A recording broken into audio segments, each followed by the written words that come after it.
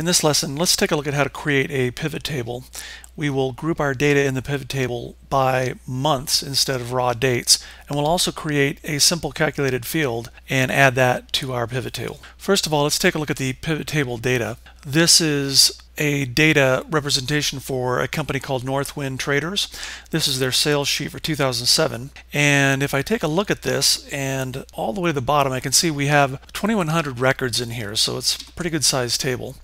We can see that we have customers listed on the left. We have our salespeople over here. We have an order date for the customer. We have the product that was placed on that order. We have the unit price of the product and the quantity of the product that was placed on the order. The first thing we should do is take our range of data and turn it into a formal table that the pivot table can recognize. The advantage of this is if we ever change the, the structure of the table, the pivot table will automatically recognize any structural changes that we make. To create a table from this set of data, I'll click in the middle of the data and choose Control T on the keyboard. It recognizes my range of data. I'll click OK, and I have my range of data set up as a table. Now to create the pivot table, I will come out, click in the middle of my table. I will go to my Insert menu and choose Pivot Table. I'll click OK, and it creates a pivot table on the left with my fields from my table on the right hand side. Notice that it's also created a new sheet in the bottom left corner. If I want to go back and look at my table, I can click on Northwind Sales and I see the table. Let's go back to sheet 1. Create my pivot table, I will come over here and grab a field such as my salesperson, drag them to the row labels. I see my salespeople over on the left. I will grab the order date field and drag it down to the column labels, and I see all of the order dates listed. I'd like to change these order dates. Instead of individual dates, I'd like to have them grouped by months. So I will click on one of my dates. I will come up to my Options tab and I will choose Group Selection. I see that months is already selected, so I will go ahead and leave that as months, click OK, and it's grouped as months. If I'd like to turn off my field headers for my column labels and my row labels, I can come up to the Options tab under the Pivot Tables Contextual and click on the field headers to turn that off. Also, if I'm not interested in seeing the grand total over here, I can come up and click on the Design tab under the Tools, and under Grand Totals I can say Off for Rows and Columns. Now to create my calculated field, I will go up to my Pivot Tables Contextual tab, click on Options, and then choose Fields, Items, and Sets. I will go ahead and click on that, choose Calculated Field,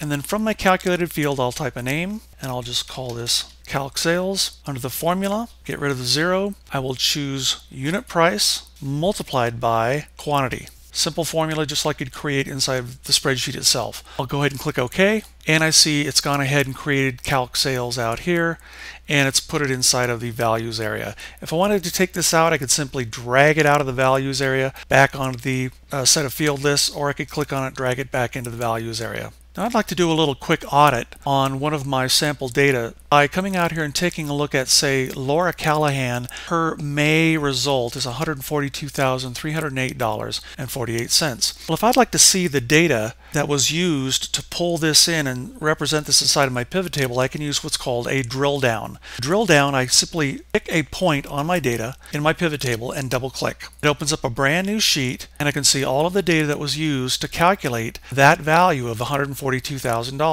Now if I look at this carefully and eyeball this, I can kind of see that all of these sales, the quantity multiplied by the unit price, don't seem to add up to $142,000. So let's do a little bit of auditing here. I'm going to do my own quick calculations here to check this out. So I'm going to come out here to the right of my unit price and quantity and I'm going to go ahead and just build a formula that calculates the unit price times the quantity in the pivot table it automatically, because it's a table, it automatically fills in the whole column. I'll come down here to the bottom and I will sum this up using an alt equal sign and I can see that it's only $8,000 which is quite a bit different than the $142,000 I see over here on the main sheet. So what's happened here? What's gone wrong?